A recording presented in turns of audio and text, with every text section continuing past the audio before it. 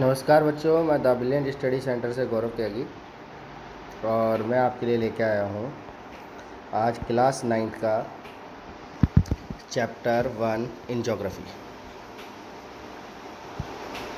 तो जैसा कि आप स्क्रीन पे देख सकते हैं, हमारा पहला चैप्टर जो है, वो इंडिया, साइज़ एंड लोकेशन। यानी इस चैप्टर में ये बताया गया है कि भारत का जो विस्तार है वो किस तरीके से है और भारत की जो पोजीशन है वो किस तरीके से है। तो India is the one of the Asian civilisation in the world it has the achieved multi face socio economy progress during the last five decades तो भारत जो है वो सबसे पुरानी सभ्यता है। तो सिविलाइजेशन का मतलब क्या होता है आपका? सभ्यता। और पिछले पाँच सदियों से भी ज़्यादा हम ये देखते आ रहे हैं कि यहाँ पे मल्टी फ़ेज़ सोशो इकोनॉमी है। मल्टी फ़ेज़ मतलब हर तरह की इकोनॉमी यहाँ पे है। It has move forward displaying remarkable progress in the field of the agriculture industry technology overall the economic development तो India has also contribute the significantly to the making of the world history यानी हम ये कह सकते हैं कि जो हमारा इंडिया है, उसके अंदर एग्रीकल्चर इंडस्ट्री टेक्नोलॉजी और इकोनॉमिक डेवलपमेंट बहुत तेज़ी से हो रहा है। तो इसमें हमारा सबसे पहला पॉइंट आ जाता है कि भारत के अंदर कौन कौन से सेक्टर हैं। तो ये आपको याद रखना है एग्रीकल्चर है इंडस्ट्री है टेक्नोलॉजी है, ठीक है? और इकोनॉमिकल डेवलपमेंट है ओके अब बात आती है what is location of the India तो India has a vast country lying entirely in the northern hemisphere. तो आप इंडिया की जो पोजीशन है, उसे देख सकते हो। ये कहलाती है आपकी नॉर्थन हेमिस्फेयर पोजीशन क्लियर तो आपको याद रखना है, इस पोजीशन को हम क्या कहते हैं? नॉर्थन हेमिस्फेयर ओके तो आपको याद रखना है, इसे हम कहते हैं नॉर्थन हेमिस्फेयर इस आधार पर कि ये नॉर्थ की पोजीशन को लिए हुए आगे, the mainland exist the between the altitude of the zero point four north minute north and thirty seven degree six minute north and the longitude is sixty eight degree seven east and ninety seven degree twenty five east. तो यहाँ पे आपको ये समझने की ज़रूरत है पहले इसने बोला आपसे लेटीट्यूड तो लेटीट्यूड का मतलब होता है जो आपकी लाइनें लेटी हुई होती हैं, उन्हें हम लेटीट्यूड कहते हैं। तो भारत की जो पोजीशन है लेटीट्यूड के अनुसार, वो यहाँ पे अगर हम देखते हैं तो वो हमें पता लगता है कि भैया ये एट डिग्री फोर मिनट से, ठीक है, आप देख रहे हैं जैसे पृथ्वी थोड़ा सा टिल है, ऊपर की ओर है तो इसलिए इसका लेटीट्यूड दूसरे, जो ईस्ट से और सॉरी नॉर्थ से किस ओर हो जाता है आपका? Thirty seven degree six minute north तक। पर अगर इसके लॉन्गिट्यूड की बात करें, ठीक है? तो लॉन्गिट्यूड इसका क्या हो जाता है? तो लॉन्गिट्यूड जो है, वो हो जाता है हमारा sixty eight degree seven minute east से ninety seven degree twenty five east तक। क्लियर तो आपको ये ध्यान रखना है, ये हमारे जो भारत है, उसकी पोजीशन है। एग्ज़ाम में एक नंबर का क्वेश्चन क्वेश्चन इसके ऊपर ज़रूर फंसता है। Okay the tropical of cancer 23 degree and the 30 north and divide the country into cost two equal part तो यहाँ पे एक याद रखने वाली बात है आपकी कि जो इसका ट्रॉपिकल ऑफ़ कैंसर है ट्रॉपिकल ऑफ़ कैंसर का मतलब कि एक ऐसी लाइन जो पूरे भारत को दो बराबर हिस्सों में बांटती है।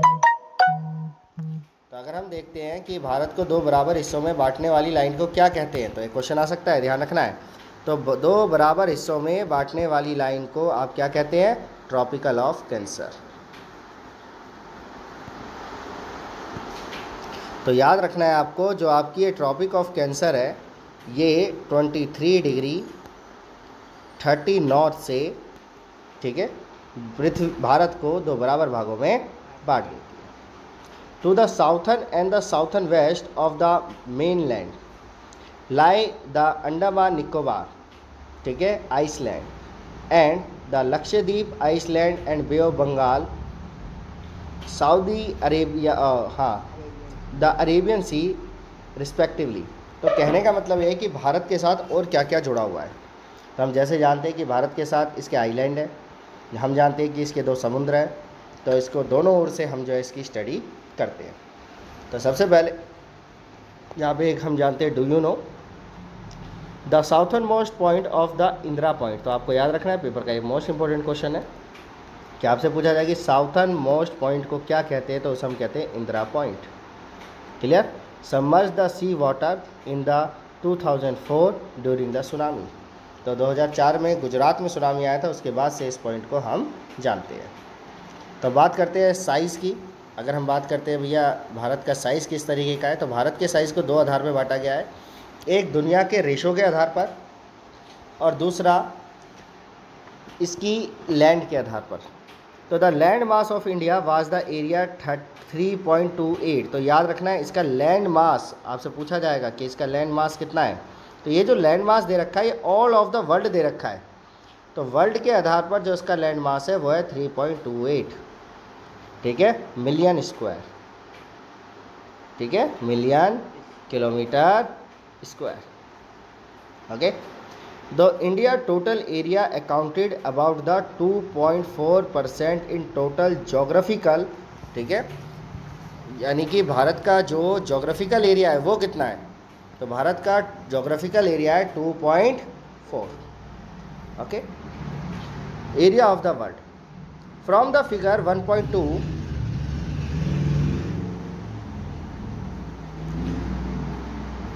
figure one point 1.2 it clear that the india is the seventh largest country in the world. Most important line आपको पता होना चाहिए कि भारत जो है वो कौन से नंबर पे आता है? तो भारत जो है दुनिया के सातवें नंबर की सबसे बड़ी कंट्री है।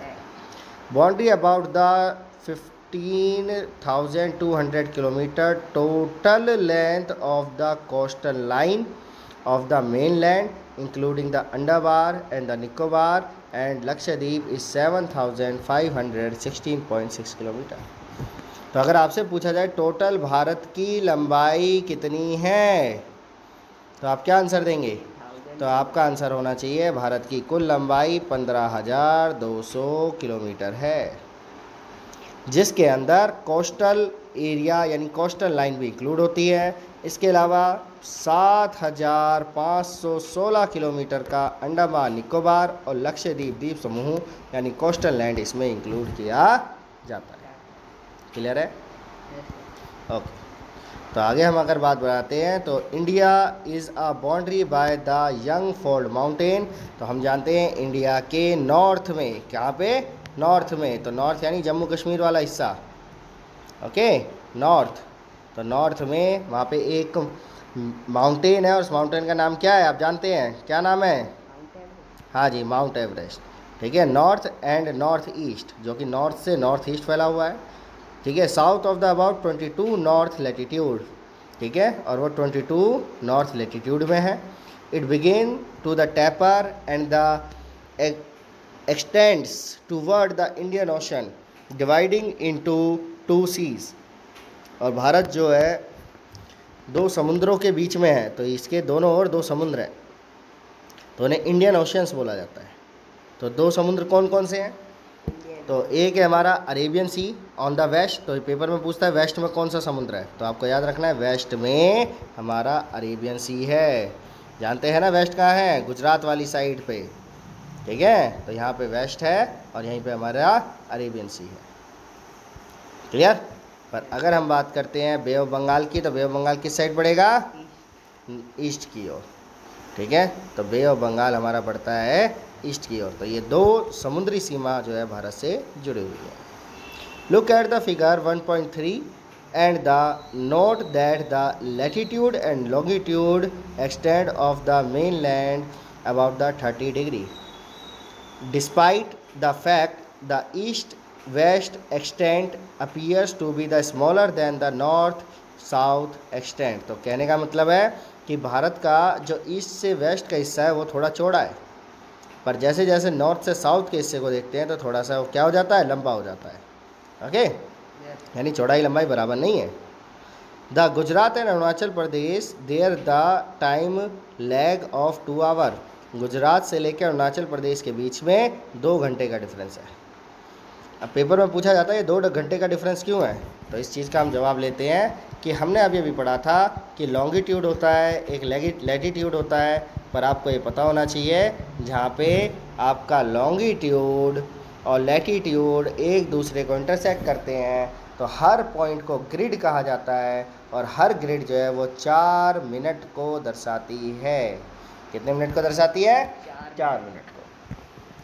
तो इस तरीके से जो उनके बीच का जो डिफरेंस है वो दो घंटे का डिफरेंस है। क्लियर क्योंकि 60 मिनट का मतलब 120 मिनट का डिफरेंस दोनों के बीच में देखने के लिए आता है। क्लियर ओके तो hence the along the standard meridian of India ठीक है 82 डिग्री 30 मिनट ईस्ट ये मोस्ट इंपॉर्टेंट है, पूछा जाता है भारत का मेरिडियन कहाँ पर है? तो मिर्ज़ापुर, नाम याद रखना है। क्या बोला मैंने? मिर्ज़ापुर। ठीक है, मिर्ज़ापुर जो है भारत का स्टैंडर्ड मेरिडियन टाइम है यहाँ पर। और ये है हमारा ट्वेंटी एटी टू डिग्री से थर्टी मिनट ईस्ट पर। ठीक है, अब क्वेश्चन आता है मिर्ज़ापुर कहाँ है? तो उत्तर प्रदेश में। It taken the standard time for the whole country the latitude extend influence the duration of the day and the night as one move and the south of the north clear जैसे हम move करते हैं south से north की ओर, या east से waste की ओर तो हमें टाइम जोन में डिफरेंस देखने के लिए मिल जाता है। फाइंड आउट उससे नीचे आ जाइए। तो इंडिया एंड द वर्ल्ड अब वर्ल्ड के आधार पर भारत की position the Indian latitude has a central location between the east and the west Asia कि भारत की जो सेंट्रल लोकेशन है, वो ईस्ट और वेस्ट एशिया के बीच में, यानी हम ये कह सकते हैं, भारत एक सेंटर है पूरी दुनिया का. India is the south west south world extend of the Asian continent the train Indian Ocean route which connect the country of the Europe and the west of the country of the east Asia provide the strategic central location of India ये most important line है क्योंकि इसमें पीछे question भी आएगा आपका कि भारत को सेंट्रल लोकेशन क्यों कहा जाता है। तो भारत को सेंट्रल लोकेशन इसलिए कहा जाता है क्योंकि इस ये जो है बिल्कुल मिडल में पड़ता है। और मिडल को हम किस तरीके से लिखेंगे कि ocean route which connect of the country of the Europe in the west and the country of east the Asian provide the strategic central location in India note that Deccan peninsula ठीक है protrude to the Indian Ocean those helping India to stabilize close connect with West Asia, Africa and Europe from the western coast and with the southern east and East Asia from the eastern coast. No other country has a long coastline on the India Indian Ocean as the India has has and needed. It is the India emited position in the Indian Ocean uh, uh, which justify the naming of the ocean after यानी हम ये कह सकते हैं कि भारत के जो oceans हैं, वो भी और देश के ओशन की सीमा के साथ लगते हैं, जिसकी वजह से एक नेटवर्क चैनल बन जाता है। क्लियर तो इसी में एक क्वेश्चन आता है, एक स्वेज कैनाल है हमारी बंगाल में, वेस्ट बंगाल में पड़ती है तो इसमें since the opening of Suez canal तो पेपर में बहुत फ़ेमस क्वेश्चन है कि स्विस कैनाल को कब खोला गया? तो आपको याद रखना है जो हमारी स्विस कैनाल है, वो 1869 में खोली गई। कब? 1869 तो ये एक तरह का रूट था जिसने यूरोप के और इंडिया के बीच के सात हज़ार किलोमीटर डिफरेंस को डिस्टेंस को कम कर दिया। क्लियर है बात यहाँ तक? ओके तो आगे बढ़ते हैं। तो आगे हमारा एक भारत का नक्शा दिखाया गया है, जिसके अंदर हमें भारत की पोजीशन को डिग्री में दिखाया गया है। तो आप देख सकते हैं नॉर्थ में ये जो पोजीशन है ये है थर्टी सेवन डिग्री और सिक्स मिनट अगर साउथ में चलते हैं तो फोर डिग्री और एट डिग्री और फोर मिनट और अगर आप ईस्ट में चलते हैं तो 97 डिग्री 25 मिनट और वेस्ट में चलते हैं तो 68 डिग्री और 7 मिनट ओके ओके और स्टैंडर्ड मेरिडियन मैंने आपको बता ही दिया 82 डिग्री एंड 30 मिनट तो ये हमारा स्टैंडर्ड मेरिडियन है। आप अगर ध्यान से देखें तो आप देखेंगे कि जो लाइन भारत को दो मिडल पार्ट में बांटती है, उसे हम ट्रॉपिक ऑफ़ कैंसर कहते हैं। क्लियर ओके तो आगे चलते हैं। ठीक है।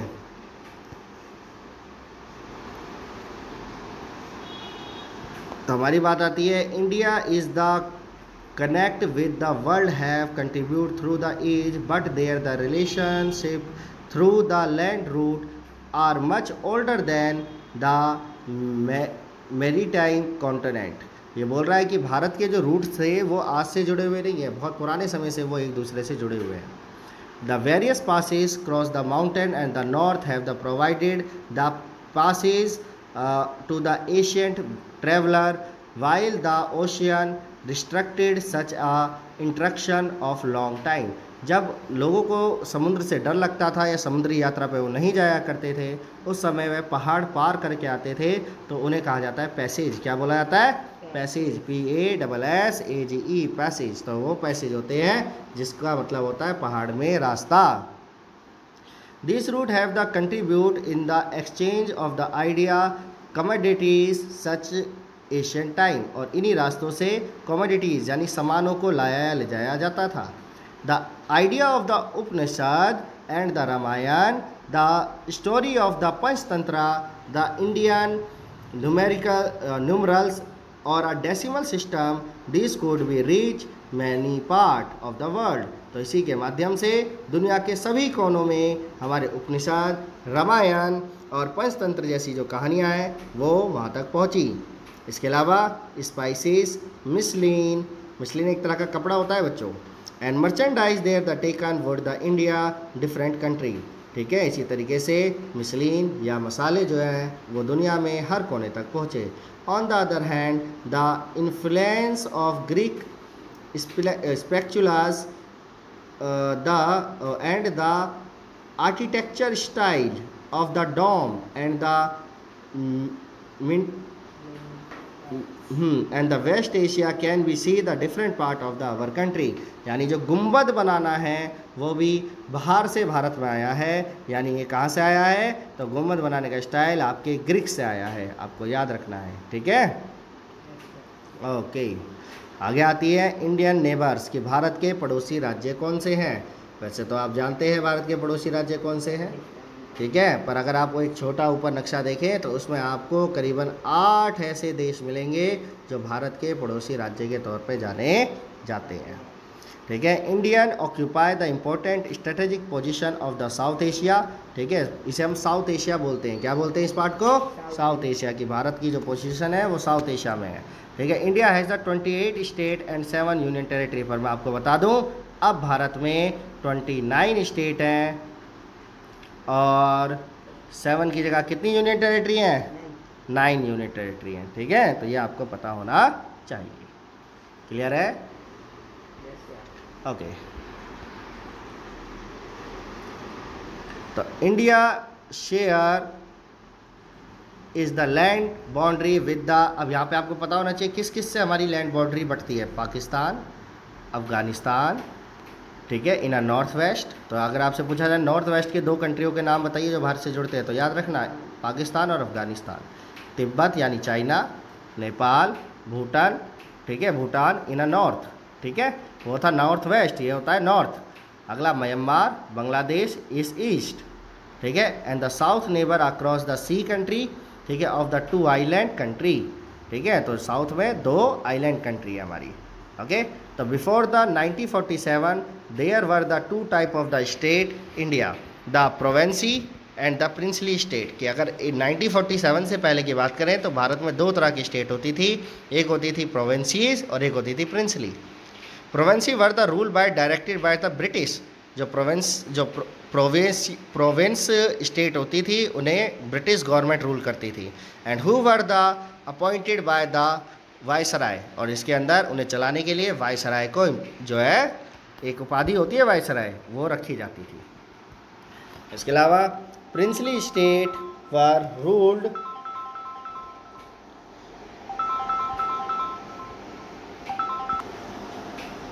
princely state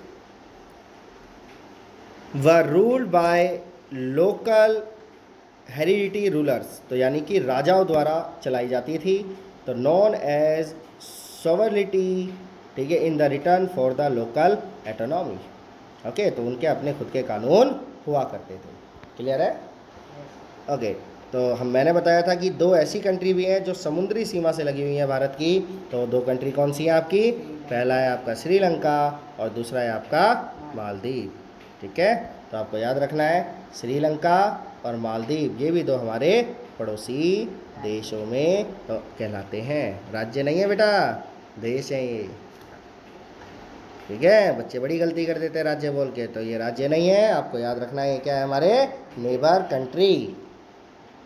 Okay? Sri Lanka is the separated from the India by the narrow channel of the sea from the Palk street तो आपको याद रखना है, भारत और श्रीलंका के बीच में एक स्ट्रीट पड़ती है, इसे पाल्क स्ट्रीट भी कहा जाता है। पाल्क स्ट्रीट याद रखना है एग्ज़ाम का बहुत इंपॉर्टेंट क्वेश्चन है। ये एक तरह का पानी का समझौता है, जो भारत और श्रीलंका के बीच में बना है। And the gulf of Mannar और इसके बीच में क्या है हमारा? गल्फ ऑफ़ मन्नार ठीक है, जो while the Maldives island are the situated on the south तो आपको याद रखना है, जो मालदीप है, वो कहाँ पड़ता है? वो साउथ में पड़ता है। ठीक है? Of the Lakshadweep island okay Lakshadweep island के नीचे। क्लियर है यहाँ तक? ओके तो अगली बात आती है। India has a strong geographical and the historical link with the neighbour कि भारत के जो है अपने पड़ोसियों के साथ काफ़ी पुराने संबंध रहे हैं। Look at the physical map of the Asia in our atlas and not the Indian start the part from the rest of the Asia ये फ़िज़िकल मैप लेके ये देखिए कि भारत के जो संबंध हैं, वो किस तरीके से धीरे धीरे करके एक से दूसरे देश तक जुड़े हैं। क्लियर इसके बाद आपका बुक वर्क आता है, इसकी आप एक्सरसाइज कीजिए। मैं Gaurav Tyagi the brilliant study centre के साथ नमस्कार। शेयर करें, लाइक करें। मैं आपके लिए इसी तरीके की वीडियोस बनाता रहूँगा। बच्चे घर बैठ के भी अपनी पढ़ाई को पूरा कर सकते हैं। Thank you very much.